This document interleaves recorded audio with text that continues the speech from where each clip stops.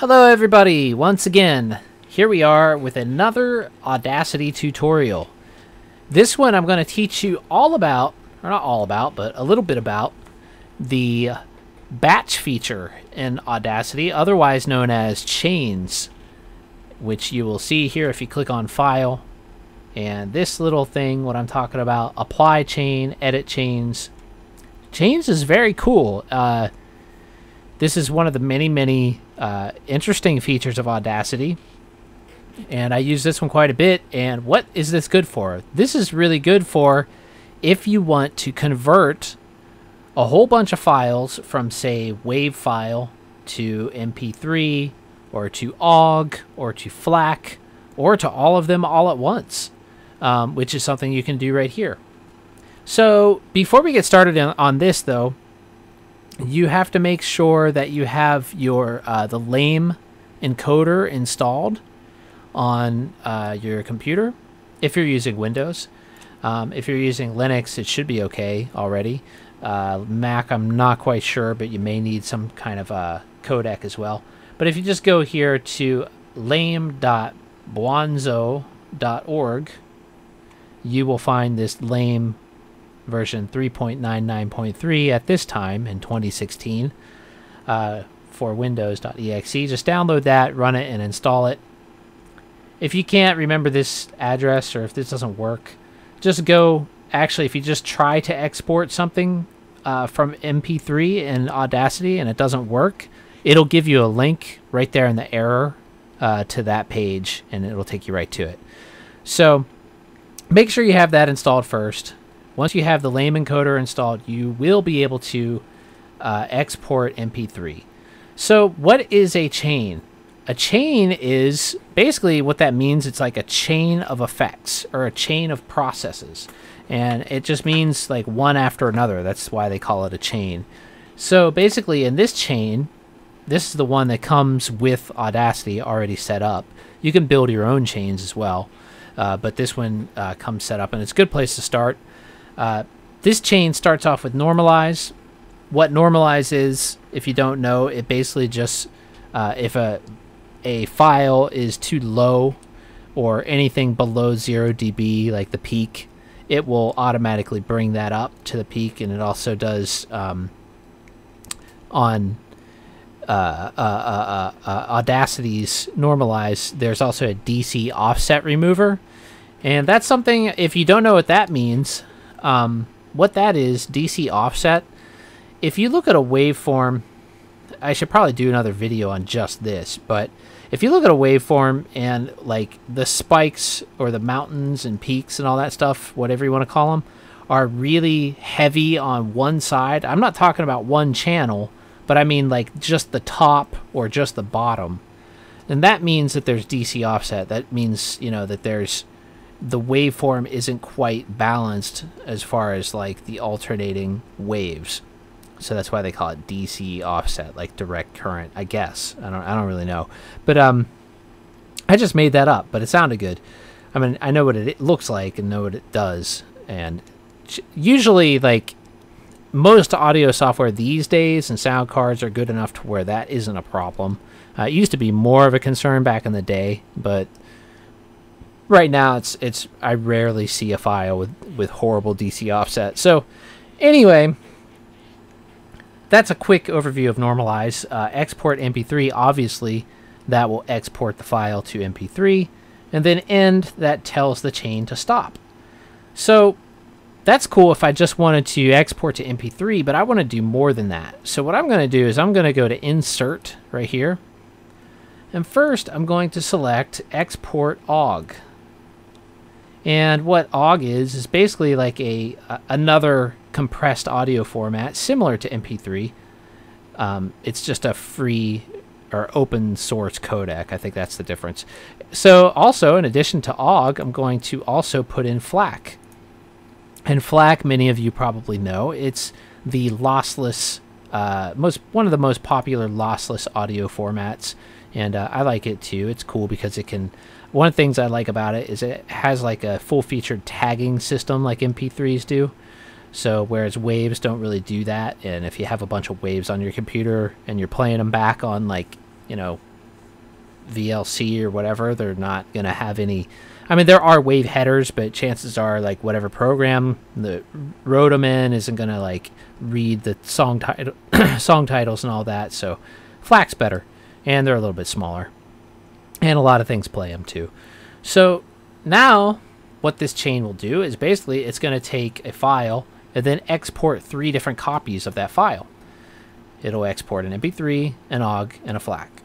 So I'm gonna, just going to click OK here, and that's my chain. Oh, actually, let me go back. I'm going to rename that. So let's go to Edit Chains, and then right here, can I rename that? Um, hmm, I don't know if I can rename that or not. I double click it. That's interesting. Anyway, I guess for the time being, I'll just leave it called MP3 conversion. Click OK. So now I'm going to go to Apply Chain. And then MP3 conversion is the only one here in my list. So we're going to go Apply to Files. And I'm just going to select a bunch of these. These ones that say peak on them are ones that I have already uh, mastered. So I'm going to select all of those. Uh, no drums. I think that one's mastered, even though it doesn't say peak. One, two, three, four, five. Well, that's good enough. There's more than that, but that's good enough for this uh, tutorial. So now we just click open. And now here it goes. Now that insane preset, uh, that was something I forgot to uh, go over with you. That's basically uh, just saying what uh, the preset is for the MP3 exporter, and insane is the highest quality. So now what it's doing, it's opening up every single one of those files. If you see, I don't know if it'll let me move this while this is happening. Yeah.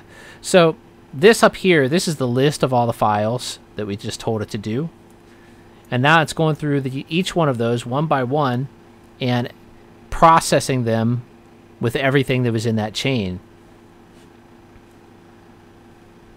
So it's basically opening up every file, normalizing it, and then processing it or exporting it as an MP3, as a FLAC, and as an OGG.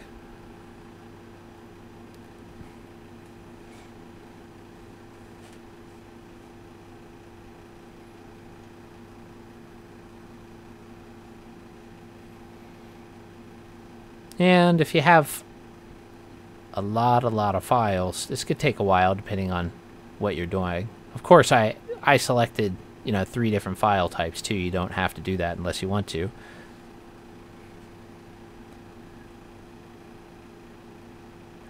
But regardless, it's much, much cooler than, you know, say you have a program that can convert one type of file.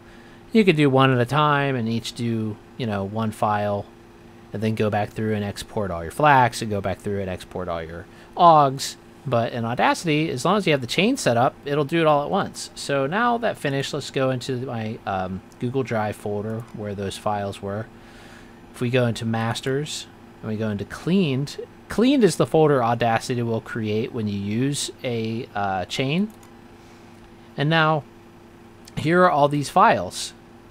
We have the FLAC, or the OGGs, and there's two OGGs in there because I actually did one before I made this video just to test what I was doing.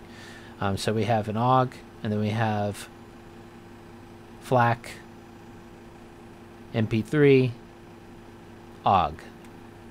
So there you go. Basically just quick way to export multiple file formats.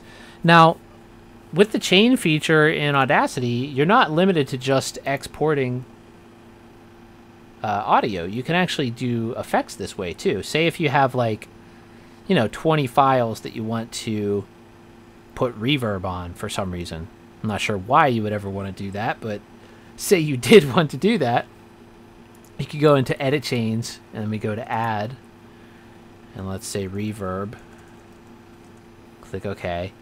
Now I'm going to go to insert. Let's find reverb in here. And here, this parameters thing, if you just click on edit parameters, here you can actually change your settings for the, how you want that uh, effect to sound on the chain. So whatever you decide upon there, just click OK. then you click OK here. And now I have a reverb chain. So let's just click OK. And then we can go back into apply chain. This time we're going to select reverb, apply to files, and I'm not going to do that many files again. Let's just do, I don't know, let's do these two this time. Castle and Flutie. Okay, so it's opening those up. And I actually just made a mistake there because in that chain, yes, it applied reverb to both of those, but then it did nothing with them because I didn't tell it to export. So, yes, you can have reverb applied, and then it'll just close the file, and then, like, you never got to hear the reverb or anything. So, in order for this to work, you're going to have to insert another uh, plugin here and either do export as MP3 or export FLAC or export WAV or whatever. So for this, I'm just going to do OGG. And make sure that this is on the bottom. If it's on the top, that's not going to work. And you may want to do a normalize in here after the reverb because you never know how reverb is going to affect something. It may drastically uh, lower the volume or it may drastically raise the volume. So now we have reverb. Oops, let's bring that back up. Normalize should be for export. So you have to think about this in the order of how they should go. So you want your reverb first, then your normalize, then your export, then end. So let's click OK. Now let's go to apply chain, keep it on reverb, apply to files, Casio tone and Castle. Open applying reverb, normalizing, and now it's exporting as Ogg Vorbis. Applying reverb, normalize, and exporting as Ogg, Ogg Vorbis. So if we go back into our folder here, go back to the Google Drive folder, back to my masters folder, cleaned, now in here somewhere there's Castle and Casio Tone I think was the other one I did. So let's hear how that sounds. Yeah, so now it's got reverb all over it.